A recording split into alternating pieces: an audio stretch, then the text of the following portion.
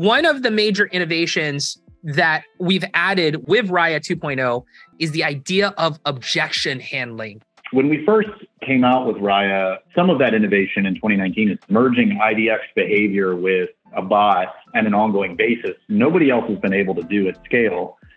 But what we've noticed is that, you know, in a sales conversation, if a prospect says to us, uh, no, thank you, if you're a good salesperson, you're not going to say, okay, thank you, have a good day, and hang up.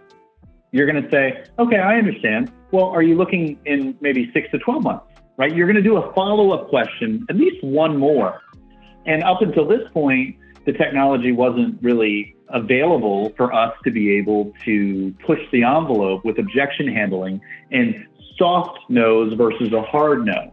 And what we've been able to do is kind of flex rAIya's muscles a little bit to where she's able to approach a soft no thank you with a little bit more empathy to come back to the consumer with a redirected question.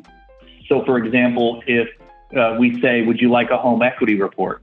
And the seller says no. rAIya used to say, Okay, thank you. Have a good day. Now rAIya's going to say, I understand. And then she's going to take a moment to try to teach the consumer, like, I understand.